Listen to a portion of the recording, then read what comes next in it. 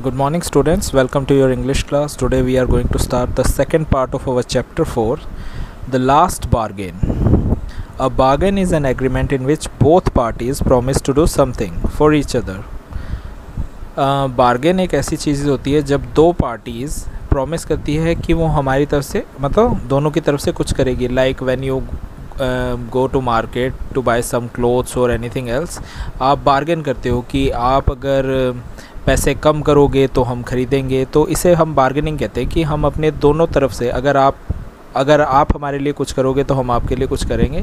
तो एग्रीमेंट होता है ये एक तरीके का, दो लोगों के बीच में, उसे हम बार्गेन कहते हैं। Someone is looking for work waiting to be hired he strikes a bargain but think it is worthless he tries twice again but doesn't like either. Finally, in the last bargain, when he is hired for nothing whatever, he is happy as never before. What is the bargain and why is it the best? so, इस story के अंदर हम ऐसा कुछ पढ़ेंगे कि पहले एक आदमी एक वर्क के लिए मतलब काम ढूंढ रहा होता है और वो वेट कर रहा होता है कि कोई उसे हायर कर ले तो वो एक बारगेन करता है किसी के साथ पर उसे वो पसंद नहीं आता फिर उसके बाद वो दोबारा बार्गेन करता है और उसे तब भी पसंद नहीं आता, पर तीसरी बार जब वो बार्गेन करता है, उसे कुछ भी नहीं मिल रहा होता, फिर भी वो खुशी खुशी वो एग्रीमेंट से एग्रीमेंट मान लेता है। अब हमें जानना है कि थर्ड बार्गेन में ऐसा हुआ क्या और उसमें क्या बेस्ट था।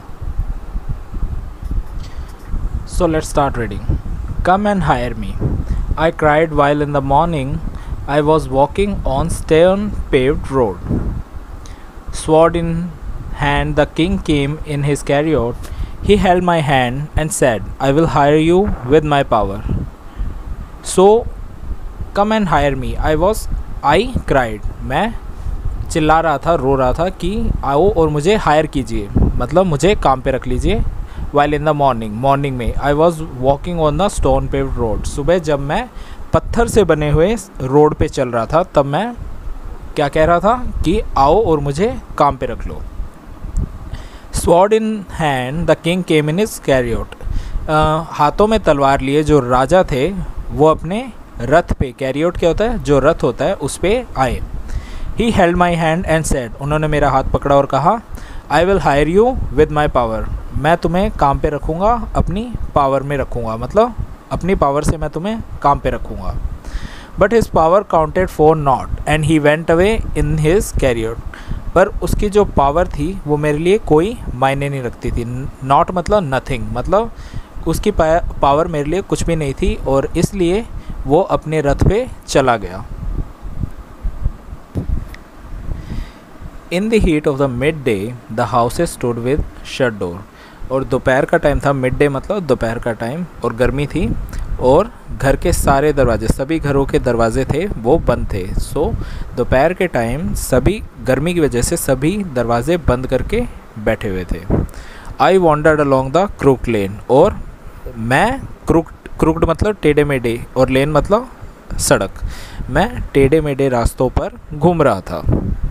एन ओल्ड मैन के old man came out with his bag of gold एक बूढ़ा आदमी अपने घर से बाहर आया और उसके हाथ में क्या था?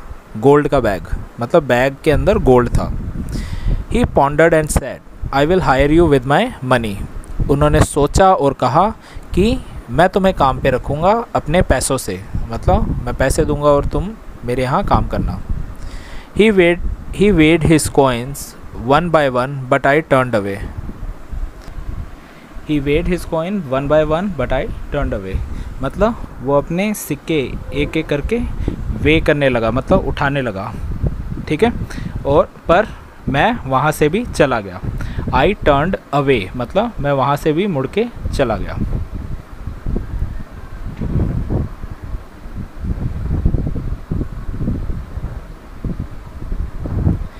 It was evening the garden hedge was all a flower so अब शाम हो गई है और जो गार्डन है, उसके हेज हेज मतलब जो फेंसिंग लगी होती है, आपने देखा होगा जो गार्डन के बाहर मेटल की, तारों की वो दीवार बना रखी होती है ताकि हम उसे प्रोटेक्ट कर सकें वॉज़ ऑल फ्लावर उसके ऊपर, सभी के ऊपर क्या लगे थे? फ्लावर्स लगे हुए थे.